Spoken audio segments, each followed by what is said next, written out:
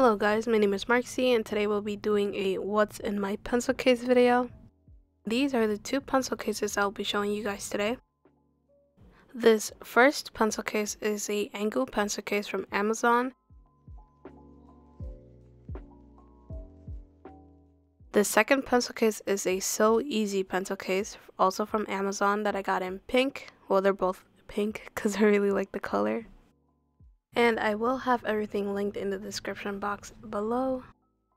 So let's start off with the SooEz pencil case. I have some buttons on the outside. This is It the Clown from a comic book store, Mechanical Gaming, a Coraline one from my sister, and a game controller one from my friends. So let's start opening up the bigger one. In the bigger compartment, it's one big pocket with two side pockets. This is where I keep all my wires and chargers that I need to take to school that day. So let's start off with the first wire. This is my iPhone charger. I usually take any close charger that I have near me to school. Next up, I have my Arduino Uno cable. I had to use this for school because I was working with an Arduino Uno. I found it interesting. It wasn't the easiest topic to cover, but it was fun. The only issue with this cable is that it is USB and my Mac only carries USB-C so I had to carry around this USB-C to USB adapter.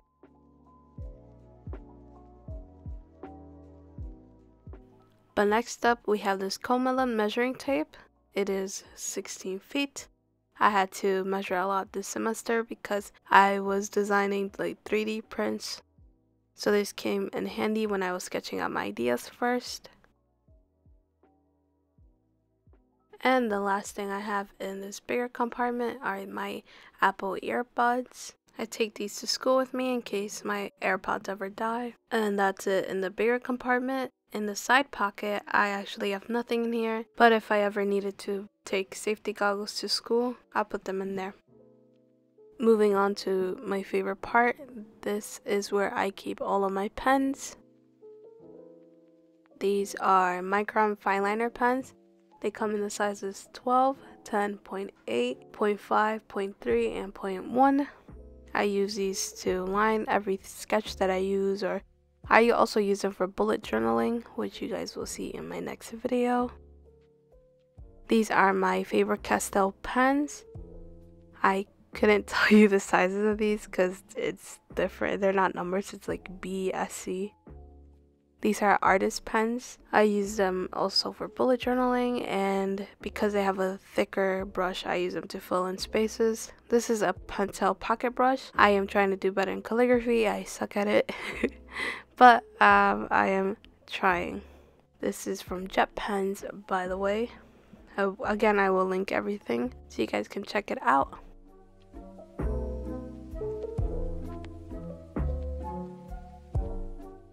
Next up, I have my Tombow brush pens. These were recommended to me from a friend. I use these also to fill in and again to practice calligraphy because right now I'm not that good at it. That's about it for that side of the pencil case. I am now fast forwarding so that you guys can see how I arrange everything back together. I am very picky about how I put things back, so this is how. And there's also a space in the middle for my laptop charger, but right now I am using it, so that's why it didn't appear.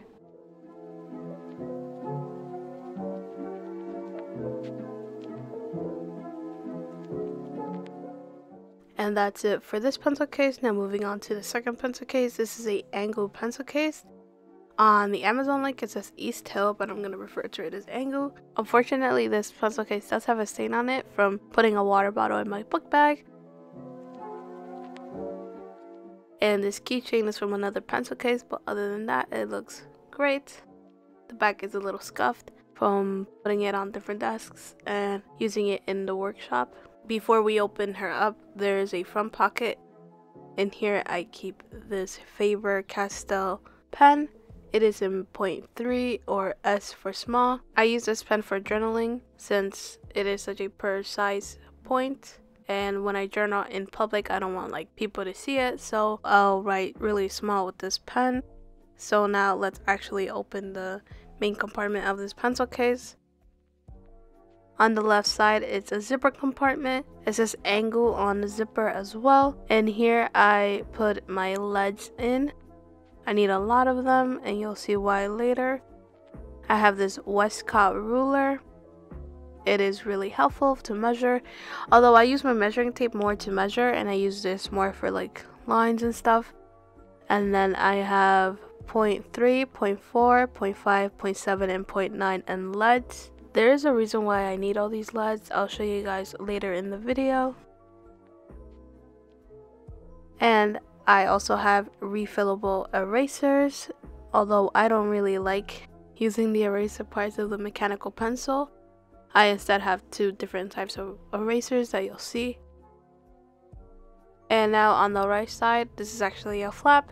And here I keep my singular pen. I hate using pen. I don't like writing a pen for my notes or anything really. But in case I need this, then I have it. This is a Uniball Jetstream pen in 0.38. It comes with a pack of different colors, but this is the one that I chose. I also have all these Mildliners. I bought these in a pack, I think of 24, but I chose these three colors for three different classes that needed physical notes. So I'll use the gray one for subtext and the three main colors for the subject's color. These Mildliners also come in two points. I'll use the chisel point for highlighting and the fine point for underlining. I also use these to bullet journal, which you guys will see in my next video. They're great highlighters. I've been using them since high school, five years now.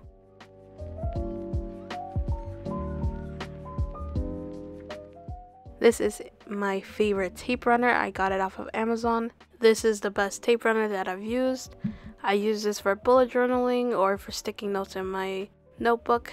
When I bullet journal, I usually use these to stick like um, pictures in my memory log or sticking colored paper into my pages. Next up, I have this Kokuyo Campus correction tape. Again, I hate using pen, but if I ever need correction tapes, then I have this. It is super small, but it works, you know. it's like any other correction tape. I got that off of JetPens. Then this is my Tombow Mono Stick eraser. I use these for small details. Again, I do sketch a lot, so I do have to have erasers on hand. This is for any small details that I want to get rid of. I also got this off of Pens.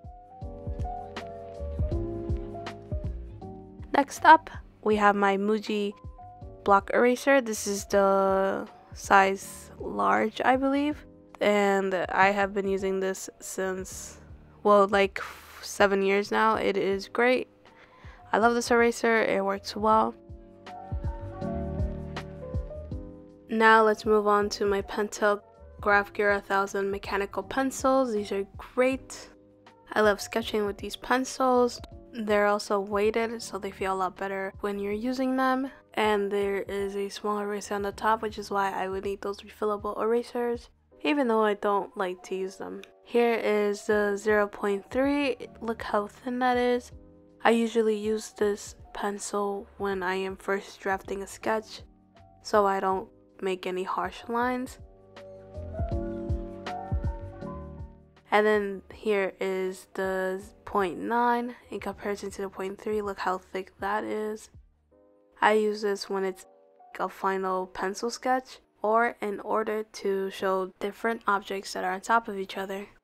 I would 10 out of 10 recommend this product. It is one of the best mechanical pencils I've ever used.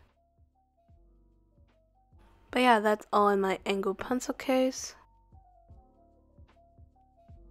And I also wanted to show that this pencil case can actually become bigger if you open up the zipper and you push out the bottom. It could become deeper. I would use this if I needed to take extra materials to school, but I don't really need to. Everything that I usually take to school is laid out. But yeah, it's super cool. Like this pencil case a lot. Would also recommend it. And that's all for what's in this pencil case.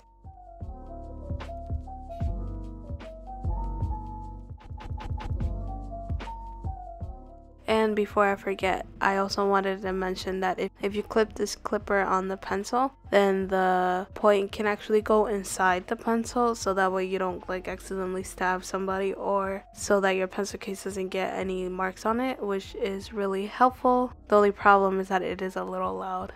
So now let's fast forward exactly how I put it all together.